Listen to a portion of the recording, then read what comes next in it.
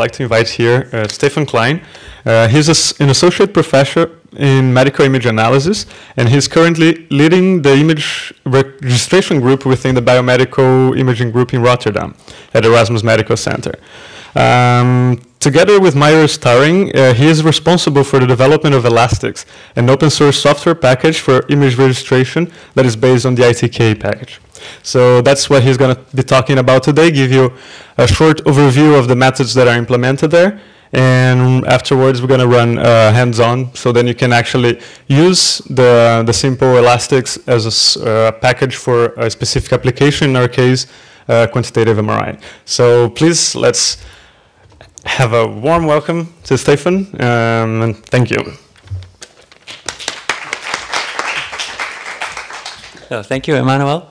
Maybe I should start by introducing you because you are the second name on this uh, talk, uh, and uh, because Emmanuel actually uh, prepared the, the whole uh, tutorial that we are that you are going to do. So you will all have to work hard in this uh, session. I'm only going to talk about 10 minutes, I think.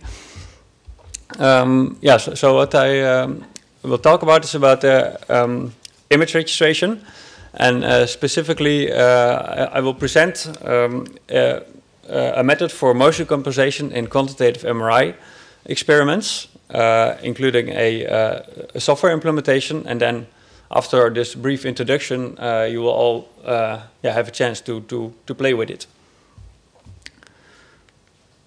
Yes, the, so those, are, those, are, the objectives. Uh, we'll introduce this method for motion compensation. It's a method that we developed ourselves uh, in, uh, in research. Um, and it uh, it's quite a generic method, so it works in principle for any quantitative MRI experiment. And with quantitative MRI experiments, I mean like T1 mapping, T2 mapping, but also uh, DTI or, uh, or uh, dynamic contrast enhanced MRI. Um, so after this introduction, I will talk a bit about the software in which we implemented this method, uh, which is based on elastix and also a wraparound that's called uh, simple elastix. And after that, I'm done, and then you will have to work. Uh, and you can try uh, try this uh, method out in a, in a in a Jupyter notebook. Okay, first a small introduction on quantitative MRI. Maybe for many of you it's already known. So quantitative MRI is a technique where you typically you acquire multiple uh, weighted images, so conventional uh, MRI images with different settings, for example, different inversion time or different echo time. Uh, and then from those images, you, uh, you, you fit a model uh, in, in order to extract a quantitative tissue parameter. So what you see here is an example for T1 mapping in the heart. So on, on the top you see eight images uh, acquired in the heart. Uh, I think there's no, yeah, um, and the, the, so the red dot. Uh, so is one voxel which is plotted here as a function of the inversion time that is different for each of these eight images. So, and that follows a, uh, a certain function. And uh, from the theory, we, we actually know what is the function that it should follow. And uh, so that's plotted here, function, and that function is a uh, uh has a few parameters, in this, uh, in this case A, B, and the T1. and the T1 is the relaxation time that we are, are looking for. And th so those are the tissue properties at that voxel. So, and by, so by fitting the measurements with this function, we can estimate these tissue properties. And then we, if we do that for every voxel, we get a T1 map. And the nice thing of T1 map, map it has a unit, so it's a really a quantitative tissue property, which promises to be reproducible across scanners. Uh, and so it's, it's nice for comparison studies and also for follow-up studies where you want to see if something changes in a patient. Right, and another uh, uh, common example is uh, in, uh, of quantitative MRI is uh, ADC mapping. So that's based on diffu diffusion weighted MRIs. So there, uh, typically you acquire a number of scans with different B value, and then again there's a model associated to that that you fit to the acquired data, and then you get an ADC map. But, but, there are many many examples of this. So here I listed the, the diffusion tensor imaging is of course a very well-known uh, example, so the ADC mapping I just uh, told, so T1 mapping, but also T2 mapping or like, like combined methods. And then dynamic contrast enhanced MRI. So for every for every of these quantitative MRI experiments, there's a, a theoretical uh, model. Uh, um, yeah, th that is fit to a number of data. So, but even the models are, are very different, but the the the the the, the, analysis that you have to do is is, is always the same. Um, okay, so um, all these methods, of course, there, are multiple images, and you fit a model through one voxel. So the, the method really assumes that these images are perfectly aligned. Otherwise, you're comparing eh, the, yeah the, the, different uh, tissues. And so and then the model, of course, doesn't uh, fit anymore. So any patient motion that typically occurs, even if it's like on a uh, just one millimeter, because then you're already in the next uh, pixel. Yeah, so any motion should be compensated as good as possible. So for that we need image registration. Um, okay, the, so the method that I focus on here is uh, work by Wieke Huizinga, that was a PhD student in my group. Uh, and that was published in, in uh, Medical Image Analysis uh, Journal. So it's a, a generic method. And uh, what I found interesting is it's a group-wise registration. So typically, if you're familiar with image registration, we're talking about two images. So, so there's a moving image, a fixed image, and you warp one to the other one. Uh, in this in this case of quantitative MRI, we have more than two images usually. We have like in this example that I gave, we had eight images. So then you could either like uh, map every image to the first image, for example, yeah, or you could map the second image to the first one, the third to the second, etc., to bring them all together. But what a group-wise registration does, it actually takes all these images together, it considers, considers them all simultaneously and aligns them to each other, to like their, to the mean uh, space, basically. So that has some advantages that by registering them all at once, it, it's using all the information. So uh, you're, and, and um, because of that, you get a more robust algorithm. Uh, and the advantage is that you don't have to choose some arbitrary reference image like the first one or the middle one, uh, because it, it, they're all registered to the, to the mean, basically. Okay, and the, and the second uh, attractive point of this method is that it's model-free. So as, as I showed, uh, there's ma many different quantitative MRI methods, all with their own model. But this, this method does not have to know what is the model. It just assumes that there is a model. So there is some low dimensional model that describes the data. Uh, and then it's, it's, uh, yeah, it's based on a principal component analysis. I will not talk about these details. I have some backup slides if you're interested I can uh, explain you, but uh, yeah, I want to focus more on the, on the, on the, on the demo here. Um, but uh, that, that's what makes it model free, basically. Uh, so it, it, it, it supports rigid registration, also affine registration or like fully non-rigid registration. And we evaluated it uh, quite extensively, and these results are presented in, that, uh, in, the, in the paper. So on, on DTI in the brain, but also AD, ADC in the abdomen, uh, T1 mapping in the heart, and also a, a, joint T1 and T2 mapping in the, in the carotid artery.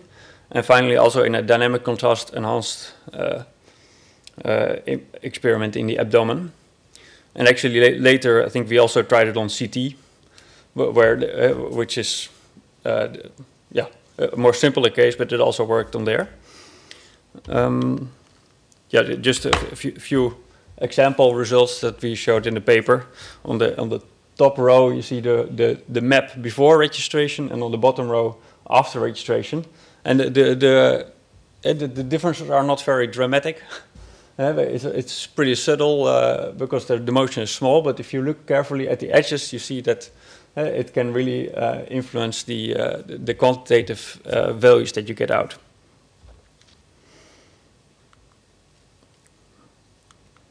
Yes, so and uh, now we get to the software. So uh, this method we implemented originally in the in the Elastix software, uh, open source Elastix software. Um, Elastix is a software that I developed myself during my PhD study a long time ago, together with with this guy, Marius Staring. Uh, and it's a, general registration toolbox that does rigid and non-rigid registration. And it's a kind of modular, so it has various like similarity measures and uh, optimization methods and transformation models. it also it, it works with 2D and 3D and even 4D images. And in general, it's pretty fast compared to other packages because of uh, stochastic optimization methods that we implemented.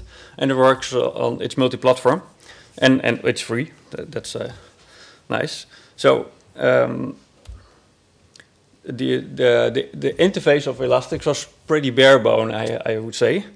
Uh, it's just a command line executable, so with some options, they, yeah, you say Elastix, then the, you give the fixed image, the, the moving image, then a text, a parameter text file, and then you say an output folder. And this parameter file that, that yeah, also is uh, pretty simplistic. I like that, but some people found this a bit too bare bone. And the nice thing is because we made it open source, uh, that, that people can improve on the code. So then there was this guy Kasper Marstal who was who thought, okay, this is a bit uh, old-fashioned way of uh, of of uh, distributing your software. So he built a, a, whole wrapping system around it based on simple ITK and uh, yeah, uh, uh, benefiting from that. And so in that way, he made simple elastix, which is which yeah provides an interface, a simplified interface. Uh, from all kinds of scripting languages, uh, yeah, including Python, which I think is used mostly. Um, so it, it compiles uh, elastix and all and all the dependencies, and al and also he implemented several parameter presets. So, but I think uh, the, strongest part is that you have to, the, the wrappings in Python and that you can really pass your images in memory instead of having to save them to disk and load them again, etc.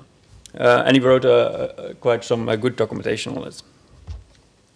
So that's what we're gonna, uh, gonna use here today, because uh, for, especially for, for this workshop, so Emmanuel spent a lot of time on creating a, a demo Jupyter notebook that shows how we can use simple elastix to do motion compensation uh, in a T1 mapping uh, uh, data set.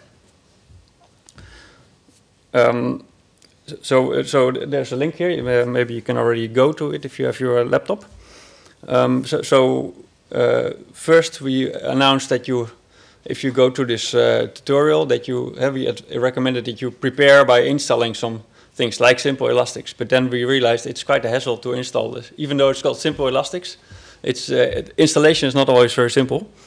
So then uh, at this conference, I was uh, I met Agah Karakuzu, and and this is really shows the nice thing of such a hackathon because uh, on the uh, in the two past days he just developed the Docker uh, that implements our this entire tutorial environment.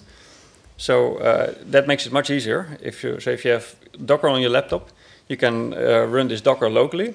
Just make sure uh, make sure you have enough uh, disk space. But he even made it easier uh, this morning. Uh, it, he, he, made this Docker available via Binder, so you can just now, now actually go to the click on this Binder button on on the on the GitHub, and then it, sh it should work.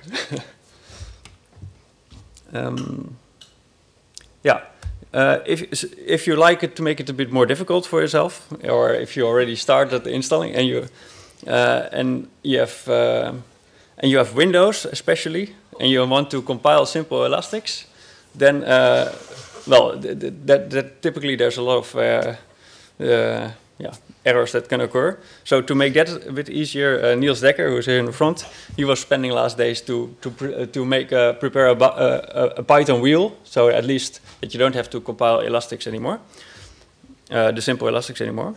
So if you if you need that, just let me know. Then I will share share this uh, this long link. but, but can also put it on USB. Oh, that that's also possible. Yeah. Uh, and uh, but but in general, I would recommend that you start trying the the binder because I think that's the, the easiest way. And uh, so if you start the the binder, so um, maybe uh, yeah, once you once it will be started, you will see this view, and then you should select the bottom one, Simple Elastix Workshop, and then once you click that, you should select Tutorial Simple Elastix, and that's the the IPython notebook that will guide you through the whole tutorial. Um, Maybe if someone needs help, you can just put up your hand for. Oh, okay. Yeah, and Emmanuel has one additional suggestion. Uh, uh, there's a small book in it, so he will tell you that you uh, you have to type uh, two two extra lines uh, in this uh, in a notebook, but that's uh, nice. eh? That's nice interactive. Um, The launching time for Binder is generally long, so if usually takes between five to ten minutes. or more. yeah, so uh, click as soon as possible as you can on the on this binder. that's the yeah.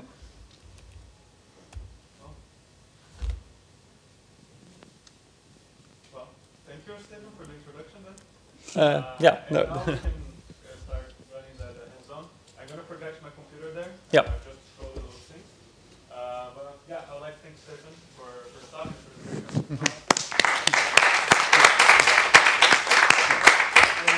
Don't clap yet. Huh?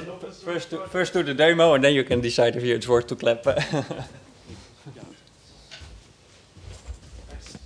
Eh, uh, do you need uh, the? No, I have the version. Okay. So just turn. Uh, and don't forget, so uh, Elastix and Simple Elastix, I believe it is also, uh, uh, they are open source um, projects. So if you think you can contribute or take a look there, um, talk to Stefan, talk to Kasper or Marius. Um, I think any help is appreciated, right? Yes, yeah, yeah, good point. There's uh, eh, the the whole Elasticsearch is open source. It's on GitHub, so you can also make issues, etc. I would say also for this demo, uh, if you find any things that don't work, eh, you can also make an issue on the uh, on the GitHub uh, of the of this tutorial. So then Emmanuel can uh, crunch it. yeah. Nice. Okay. Thank. Thanks. Okay, so can I just see a show of hands who is already launching the, the binder? Oh, basically everyone. So now we just have to wait for it to be launched.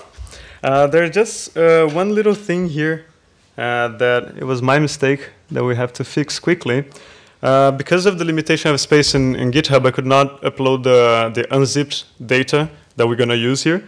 So, and I forgot to put the unzipping part in the tutorial.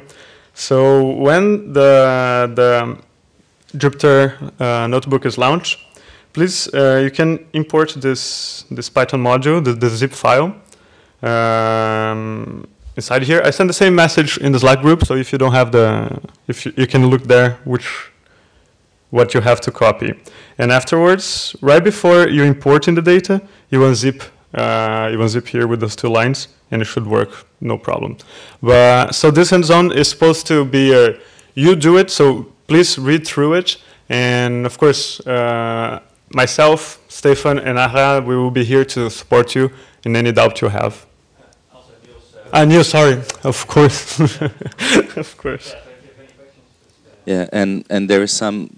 Uh, is there is there anyone here who is going to run this uh, on a Docker container on a Windows computer? Hopefully, no. Oh, there is one. Okay, so we need to do some weird stuff. So, okay. Just one thing uh, I think is really interesting um, when you're trying to use this in the future for your own application. Uh, Stefan talked uh, shortly about a parameter file that is necessary for the for the execution of elastix and simple elastix. So if you really Google this parameter file elastix on Google, you can be directly directly uh, directed to the database for the parameter files, where we can find a bunch of validated um, applications for this. And those parameter files, they usually work quite well out of the out of the box. So you can check there if anything fits on the application you want to use. And if not, well, we can maybe develop something together, right? It'll be cool. Uh, if you, there are two options. You can directly Google parameter file elastix, and it's the first link. It's really easy to find. I, uh, I will share the link. Um, probably I'll put in the Jupyter notebook yeah. and share as well in the um, in the Slack channel.